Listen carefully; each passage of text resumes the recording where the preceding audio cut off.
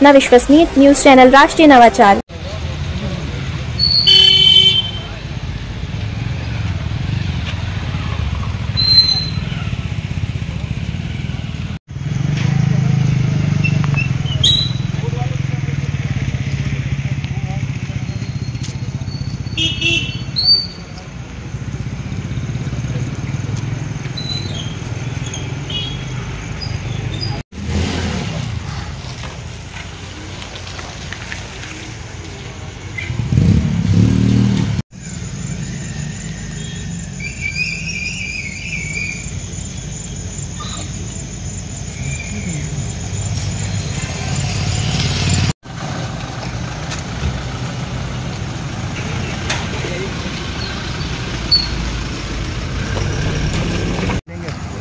हाँ वही सोच तो हूँ।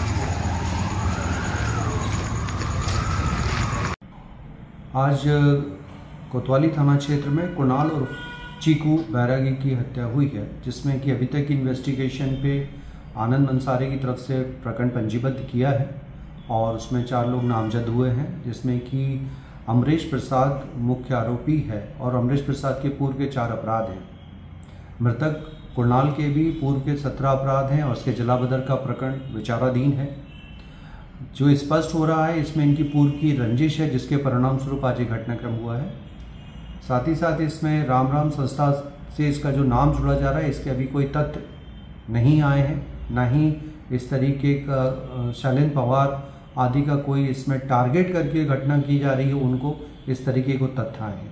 आगे की इन्वेस्टिगेशन जारी है दो टीमें बनाई गई हैं, जिसमें कि जो लोकेशन सभी संभावित लग रही हैं उन पर पार्टी रवाना है, शीघ्र ही इसमें पर्दाफाश किया जाएगा।